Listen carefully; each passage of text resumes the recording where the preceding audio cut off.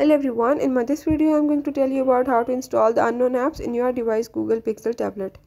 So in this device, if you want to install the unknown apps, I will show you how you can do it.